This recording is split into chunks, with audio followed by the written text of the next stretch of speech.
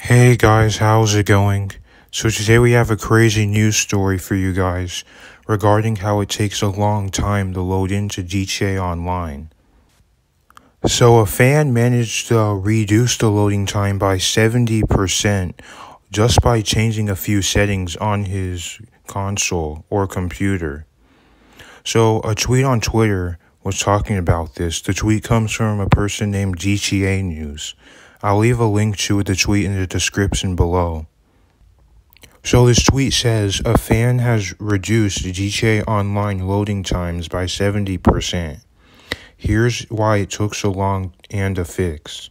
And then after that, it shows a link to rockstarintel.com. On rockstarintel.com, I managed to find these paragraphs that we're going to talk about. So these paragraphs say, ever wondered why GTA Online loading times take so long after spending hours of your life staring at an artwork screens? Thanks to a programmer frustrated by the length of time it takes, you can now speed GTA Online up by nearly 70%. In his blog post, t0st explains why GTA Online takes so long to load and how he improves the speed. The, the fantastic post is quite in depth in terms of programming, so we're going to share the general overview of this post on this page.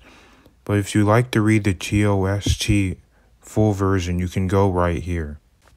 So I'll leave this entire article in the description if any of you guys want to check it out for yourself. So me personally, my thoughts on this, I cannot believe a fan actually figured out how to actually lower the time to get into online. So let me know in the comments what you think of a fan trying to do this. Like always, don't forget to like and subscribe for more videos. And I'll see you guys next time.